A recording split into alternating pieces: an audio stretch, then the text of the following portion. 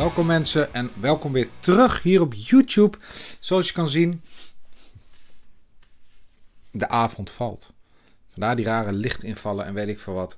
Uh, ik ben vandaag heel druk bezig geweest met de Haag. En hoe is zeggen, de Haag. Uh, we hebben een hele grote Haag in de tuin. Die moest even een kopje kleiner. Want die groeide echt enorm de lucht in. Het was vandaag wel prachtig mooi herfstweer. En toen dacht ik, nou, dat ga ik even doen en dan ga ik daarna lekker reviewen. Maar ik ben er gewoon 3,5 uur mee bezig geweest. What? Ja, dat dus. Uh, dus vandaar, het is donker, mensen. Maar ik heb wel tegen mezelf gezegd, ik wil wel reviewen vandaag op deze zondag. Um, dus dat is dan wel gelukt. Althans, we moeten nog beginnen. Um, allereerst, ik wil even alleen het glas laten zien. Nee, dat is niet het bier wat we gaan reviewen. Dat heb je natuurlijk ook eh, in de intro kunnen zien. Het is een glas van Drekker. Dat is een Amerikaanse brouwerij. Met een of andere viking erop. Ik dacht eerst dat het uh, hopplankje zou. Het is een viking met een soort hopbaardachtig. Check het uit. Uh, dat glas heb ik gekregen bij Interbeer. En Interbeer is de, of de importeur voor Blubberdick Jetsers. Oftewel Amerikaanse bieren. Niet dat alle Amerikaanse bieren Blubberdick Jetsers zijn. Maar in ieder geval Amerikaanse bieren. Het uh, was echt super gaaf om, uh, om een keer heen te gaan. En um, ik was daar samen met Ferry en Marcel van Beer Geeks op Facebook. Daar zijn we live geweest. Zeker even de aanrader om even terug te kijken op Facebook. Dus ga naar Facebook, kijk even bij bestanden en dan ja, kom je er vanzelf. In ieder geval, topglas. Wat gaan we reviewen vandaag? Wij gaan een collaboration reviewen. Je zag het al in de intro. Het is de Rex en Raptor van Bronkhorster Ja, vind ik mooi hè. Bronkhorster, vind ik echt super gaaf. Samen met Brouwerij de Molen, mensen. Uh, 13,2% Black Barley Wine is. Check it out. Het ziet er echt heel goed uit. Um, Bronkhorster, ik vind het zo'n gave brouwerij. De Molen vind ik ook echt een geweldig gave brouwerij. Allebei voor mij echt extreme toppers. Um, en daarom dacht ik, ja, deze moet gewoon gereviewd worden. Weet je, ik heb de laatste tijd al redelijk wat Bronkhorst gereviewd. Komt er sowieso nog een aan. Uh, waarom? Ja, ik weet niet waarom. Ik vind het gewoon leuk om te reviewen. Uh, ik heb geen aandelen in Bronkhorst of wat dan ook. Ik vind het gewoon een super brouwerij. Uh, ja, en dat kan. Ja, toch? Gewoon zelf aangeschaft overigens. Hè? Het is niet alles. Juist. Biergeek Holland koopt ook gewoon zijn eigen bier. Uiteraard. Ik heb mijn voorkeuren. Ik ben heel erg benieuwd naar dit bier. Hij is gebotteld op 1 oktober 2019. Dus hij is zeg maar anderhalve maand oud. En hij is houdbaar tot 1 oktober 2029. Dus 10 jaar. Ik denk dat hij daarna ook nog wel redelijk mooi ontwikkelt. Aangezien die 13,2% is. We gaan hem snel openmaken. Here we go. Oh. Nou, kom op, Punisher. Ik heb hem nog steeds, hè. Voor de trouwe kijkers. Je kent hem denk ik nog wel, de Punisher openen. Nog steeds. Here we go.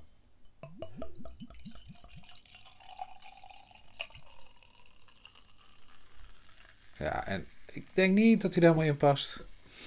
Nou, zullen we het proberen? Jams dan. Ja, dat gaat wel lukken. Net aan.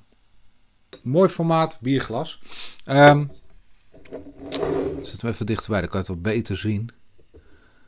De Rex en Raptor.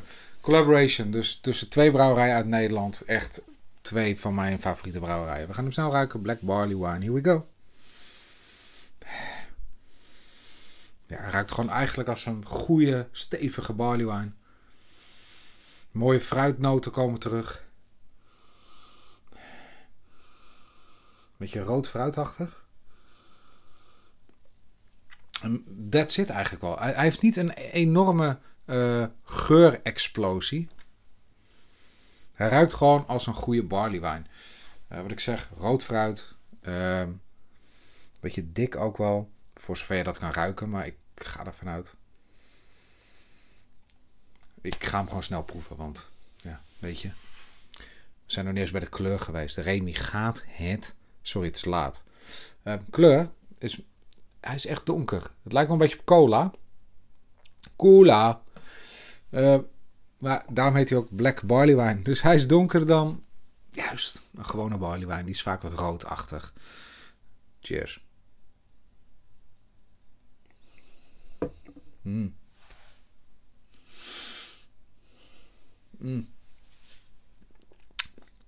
Zo. Oké. Oké. Zo.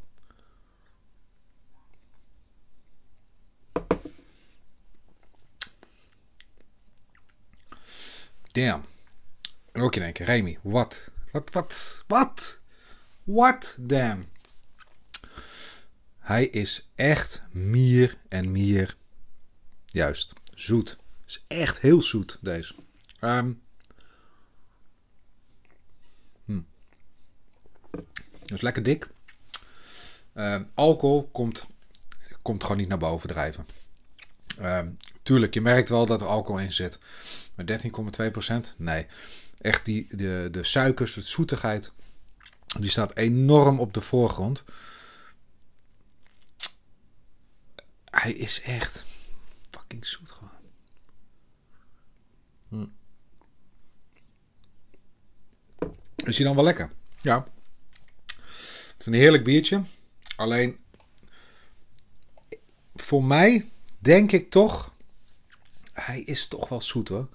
Ik vind hem, uh, en de barley wine kan heel mooi zoet zijn.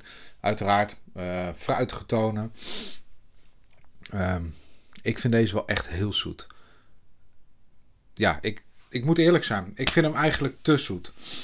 Um, hij had voor mij zeker minder zoet uh, gemogen. Um, maar op zich neemt dat niet weg dat het wel een lekker bier is. Hij is wel lekker, maar als dat zoetje nou iets minder was, dan was hij beter in balans. Kwam het alcohol iets beter terug. Um, ook het rode fruit kwam denk ik mooier tot zijn recht.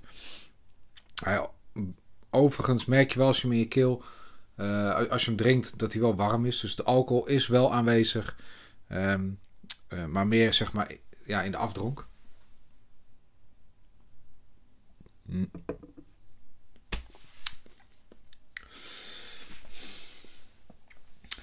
Niet verkeerd. Maar gewoon wel gewoon te zoet voor mij.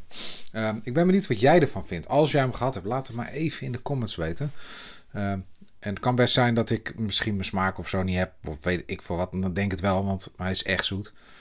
Um, laat er maar even weten wat jij ervan vond. Ik vind het wel echt een hele gave collaboration. Alleen bier is iets te zoet. Voor mij. Als ik een cijfer aan het bier moet geven, moeilijk. Ik vind het heel moeilijk. Um,